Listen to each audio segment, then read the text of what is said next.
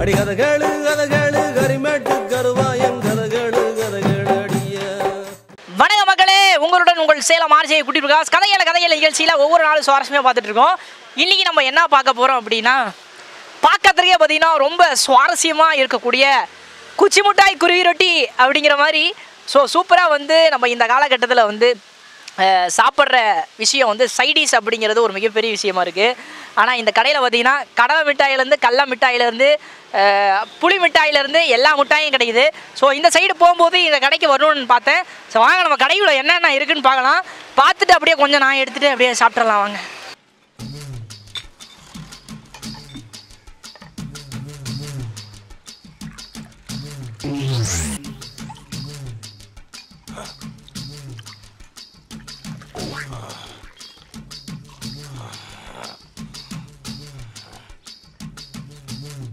ஆஹா.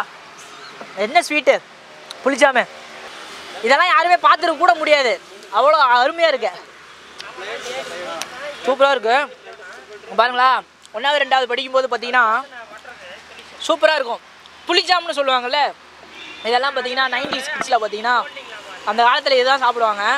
So நம்மளாம் அந்த காலகட்டத்தில் ஒன்றாவது ரெண்டாவது படிக்கும் போதெல்லாம் பார்த்தீங்கன்னா இந்த புளி குச்சியில் வச்சு இந்த புளியை வாயில் வச்சு அப்படியே சப்பின்னு சாப்பிடுவோம். ஸோ வந்து நாங்களும் சாப்பிட்றதுக்கு வந்து ரெடி ஆகிட்டோம் ஸோ இதெல்லாம் பார்க்கும்போது அப்படியே சாப்பிடணும் போல் தோணுது. வாங்க இருந்தாலும் நான் சாப்பிட்றது எடுத்துட்டு கடையில் என்னென்ன இருக்குன்னு பார்க்கலாம். ஸோ அண்ணா வணக்கண்ணா உங்கள் பேர் என்ன? இங்கே என்னென்ன வெரைட்டிஸ்லாம் வைக்கிறீங்க? இப்போ இருக்கிற காலகட்டத்தில் பெரிய கடையெல்லாம் வைக்கலாம் ஸோ வந்து இந்த குச்சி மிட்டாய் குருவி ரொட்டி அப்படிங்கிற மாதிரி எல்லாம் வந்து புளிச்சாம்புல இருந்து எல்லாமே வந்து அந்த அந்த காலகட்டத்தில் அரை கிளாஸ் ஒரு கிளாஸ் படிக்கிறவங்க அந்த நினைவுகள் மாறாமல் போட்டிருக்கீங்க. எதனால இந்த கடை போட்டீங்க? ஸோ வந்து எல்லாமே சூப்பராக இருக்கும். சொல்லுங்கள் இப்போ வந்து நைன்டி கிட்ஸ் எல்லாம் பார்த்தீங்களா இந்த மாதிரி தான் யூஸ் பண்ணியிருக்காங்க. இப்போ இருக்கிற மக்கள் இதெல்லாம் யூஸ் பண்ணுங்காக இந்த மாதிரி பொருளாக தேடி பார்த்து நான் வாங்கி வச்சு விற்கிறேன் என்னென்ன வந்து வித்துட்டு இருக்கீங்கண்ணா இங்கே? இங்கே தேங்காய் பருப்பி இருக்குது பால்கோவா இருக்குது எள்ளு உருண்டை இருக்குது மைசூர் பாக்கு இருக்குது குலோப்ஜாம் இருக்குது ரவா உருண்டை.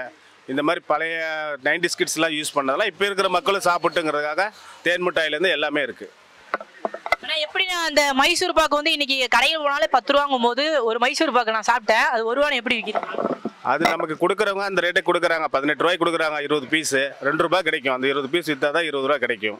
அதனால மக்கள் சாப்பிட்றாங்க. அன்னன்னைக்கு வாங்கி கொடுக்குறோம். டேஸ்ட்டாக இருக்குது அதனால அதே அதே மாதிரி கம்மி விலைக்கு கொடுக்குறோம். இதோட மொத்தம் எவ்வளோக்கு வந்து நீங்கள் இந்த மொத்தமாக வியாபாரம் போட்டிருக்கீங்க? மொத்தம் இன்வெஸ்ட்மெண்ட் பார்த்தீங்கன்னா ஒரு செவன்ட்டி ஃபைவ் தௌசண்ட் வரும். எல்லாமே டோட்டலாக சேர்த்திங்களா? இந்த சாக்லேட் ஐட்டம்ஸ் பார்த்தீங்கன்னா ஒரு ஃபார்ட்டி தௌசண்ட் வரும். ஆமாம் ஒரு நாளைக்கு வந்து எத்தனை பருப்பி போகுது? எல்லாமே முடிஞ்சிருதா? வித்து முடிஞ்சிருதா? சாயங்காலத்துக்குள்ள? இல்லை எப்படி போகுது? ஒரு டூ டேஸ் ஒன்ஸு எல்லாமே முடிஞ்சிடும் டூ டேஸ் ஒன்ஸ் முடிஞ்சிடும் அடுத்தது அது சேல் ஆனால் தான் திரும்ப ரிப்பீட் வாங்குவோம் நாங்கள் அப்போ தான் ஃப்ரெஷ்ஷாக கொடுக்க முடியும். புளிஜாம் அந்த குச்சியில வச்சு சாப்பிடுறது அந்த புளி. இன்னும் அதெல்லாம் தயாரிக்கிறவங்கலாம் நிறைய பேர் இருக்காங்க. அது குடிசை தொழில் மாதிரி அது ஒரு நல்லாவே பண்ணிட்டு இருக்காங்க. இப்போ வந்து அதிகமாக சேல் ஆகிறதோட நீங்கள் ஸ்ட்ராபெரி அந்த மாதிரி சாக்லேட்லாம் சாப்பிட்றதோட இதனால் மக்கள் லைக் பண்ணுறாங்க லைக் பண்றாங்க. திருப்பி வந்து பழைய நினைவுகளுக்கு நைன்டி கிட்ஸுக்கு மக்கள் போறாங்கன்னு நீங்க சொல்றீங்களா? இல்லை அவங்க வாங்கி சாப்பிட்றவங்களே வந்து எங்கள் கண் கூட சொல்கிறாங்க நல்லா இருக்கு இந்த மாதிரிலாம் எங்கேயும் கிடைக்கல அப்படின்னு வந்து கார் நிறுத்திட்டு கூட வாங்குறாங்க. நிறைய பேர் வாங்குறாங்க. வாங்குறாங்க. ஏன்னா இன்னைக்கு வந்து ஒரு சாக்லேட்டே பார்த்தீங்கன்னா ஒரு ஐம்பது ரூபா அறுபது ரூபா ஸ்ட்ராபெரி ப்ளூபெரின்னு சொல்லிட்டு ஐநூறு அறுநூறு வரைக்கும் விற்கிறாங்க ஆனால் இது வந்து வெறும் ஒரு ரூபா தான். இதை வந்து போகிறவங்க வரவங்க எல்லாம் என்ன மாதிரி வந்து பார்க்குறாங்க? இந்த கடை இருக்கு. ஸோ இந்த இடத்துல முட்டாய் நடக்குது. நிறைய பேர் வராங்களா? ரெகுலர் கஸ்டமர் அதிகமாக இருக்காங்க. நிறைய பேர் வராங்க. இந்த டேஸ்ட் கொடுக்கறதுனால அவங்க நிறைய பேர் வராங்க. இது குடிசை தொழில்னால உங்களுக்கு ரேட் கம்மியாக தான் கிடைக்கும். நீ கம்பெனி வைஸ் பார்த்தீங்கன்னா அட்வர்டைஸ்மெண்ட் அதனால போகிறதுனால ஐம்பது சாக்லேட் கூட ஒரு ரூபாய்க்கு விற்பாங்க. இது அப்படி கிடையாது. குடிசை தொழில் எந்த டேக்ஸ் எதுவுமே கிடையாது. அதனால ஒரு ரூபாய் ரெண்டு ரூபாய்க்கு ஈஸியாக கார் நிறுத்திட்டு கூட வாங்கிட்டு போகிறாங்க வாங்குறவங்க ஒன்று ரெண்டுலாம் வாங்குறதுல பத்து இருபது குழந்தைங்களுக்கும் சேர்த்து வாங்கிட்டு போகிறாங்க ஆ. இதுல உங்களுக்கு மாத வருமானம் எவ்வளோண்ணா கிடைக்குது? மாத வருமானம் எப்படி பார்த்தீங்களாலும் ஒரு செவன் தௌசண்ட் கிடைக்கும். எதனால இந்த ஐடியா வந்துச்சு? இப்படி எல்லாம் கொடுக்கணும் இந்த ஐடியானா நமக்கு வேற தொழில் இருக்கு கயிறு தொழில் இருக்கு. அது முன்னாடி வச்சு சேல் பண்ணிட்டு இருக்கோம். சரி அதையும் பார்க்குறோம் இதையும் பக்கத்துல இருந்து அப்படி பார்த்துக்கலாம்னு சொல்லிட்டு பார்த்துட்டு இருக்கோம். ரொம்ப நன்றி நான் எங்களுக்காக பேட்டி கொடுத்தது. தேங்க்ஸுங்க ஸோ மக்கள் வந்து எல்லாருமே பார்த்துட்டு இருப்பீங்க அப்படின்னு நினைக்கிறேன். ஸோ நல்ல சாக்லேட் வாங்கணும்னா நம்ம எம்எஸ்சி மண்டபம் பக்கத்தில் இருக்கிற ஸ்டீல் பிளான் போகிற வழியில் புது ரோடு வழியாக வரக்கூடிய இந்த கடையில் வாங்க. ஸோ வந்து மலரும் நினைவுனால குச்சை சிலிருந்து குருவி ரொட்டிலேருந்து எல்லாமே வந்து கெச்சிருச்சு.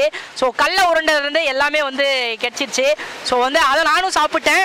ஸோ வந்து எல்லாமே ஸ்வீட்டாக இருக்குது ஸோ என்னென்ன இருக்குது அப்படின்னு பார்த்துட்டு நீங்களும் இந்த கடைக்கு வாங்கன்னு சொல்லிட்டு மீண்டும் ஒரு நல்லதொரு நிகழ்ச்சியில் உங்களுடன் சந்திக்கும் முறை கதையேழு கதையேழிலிருந்து விடைபெறுகிறான் உங்கள் அன்புதமுடன் சேலம் ஆர்ஜியை குடிபிகாஸ் மற்றும் கேமராமேன் என் அன்பு அண்ணன் ஜான். நன்றி வணக்கம்.